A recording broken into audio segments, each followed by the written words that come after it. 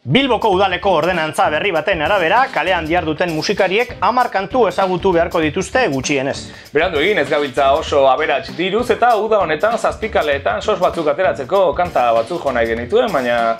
Mm, nola goaz gitarrarekin, unai? Oh, beira, dugu proba. Jam sesio txiki bat? Beira. Joder. Ah, Jam, jam session. Aldapeko sagarraren puntan. Perfecto. Beste behatzi eta listo.